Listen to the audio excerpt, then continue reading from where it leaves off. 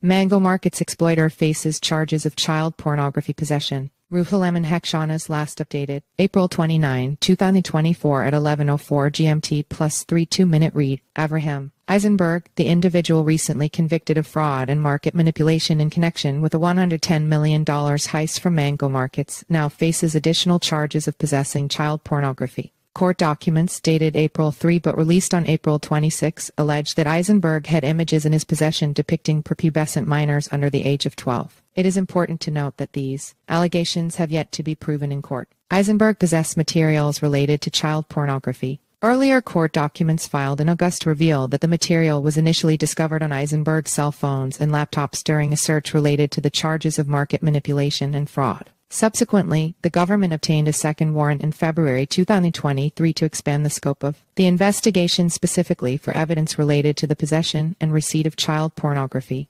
Investigative journalist Christopher Brunet was the first to report on the child pornography charges. Brunet claims to have screenshots of Eisenberg engaging in disturbing conversations about children. The emergence of these charges marks a significant development in Eisenberg's legal troubles, which already included the conviction for fraud and market manipulation. The severity of the allegations surrounding child pornography further compounds the seriousness of the case. As reported, Eisenberg has been found guilty in a Manhattan federal court for orchestrating a scheme that resulted in the theft of approximately $110 million from the Solana-based DeFi platform. Prosecutors argued that Eisenberg orchestrated a complex exploit on the platform, leading to substantial financial losses. Eisenberg, who has been in custody since January 2023, could face a maximum sentence of 20 years in prison. $110 million Mango Markets exploit. On October 11, 2022, Mango Markets was the victim of an attack in which approximately $110 million was drained from its treasury. Shortly after the attack, Avraham Eisenberg came forward as the perpetrator,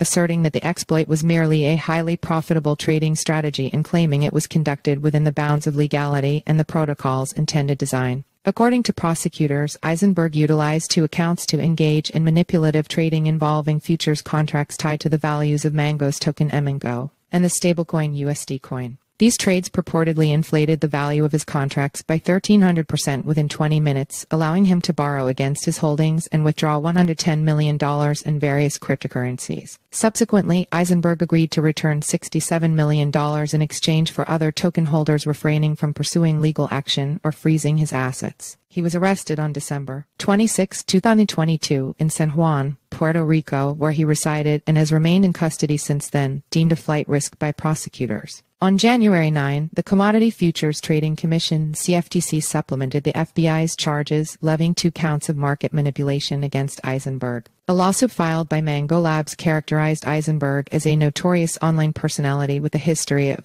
attacking multiple cryptocurrency platforms and manipulating cryptocurrency markets. Follow us on Google News.